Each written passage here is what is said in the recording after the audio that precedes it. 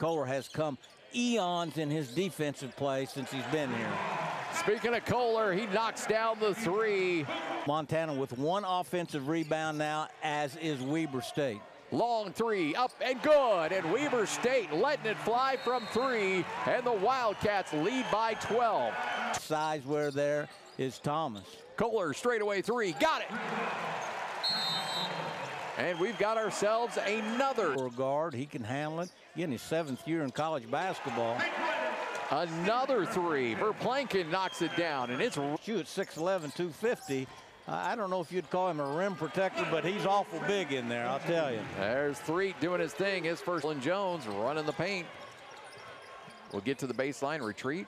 Vartiainen straightaway three. Yes, yeah. sir. Vartiainen buries the three, and it's a 21-point lead. Tries to keep it in play, but Weber State comes away with the rebound. Three, the drive. Three off the glass. Yes, gets it to go, and Travis DeCuire just got hit with it. Thomas leading the Grizzlies in scoring with nine.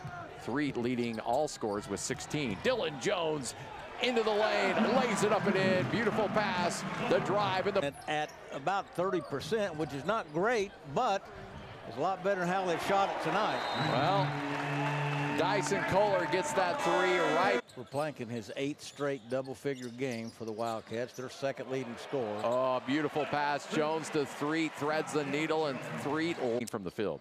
Now, they, they have really struggled, and a lot of it has to do with Another beautiful pass. That one goes to Cunningham. His layup. Eight of the 10 teams in the Big Sky in action tonight. The two travel partners, Northern Arizona and Northern Colorado.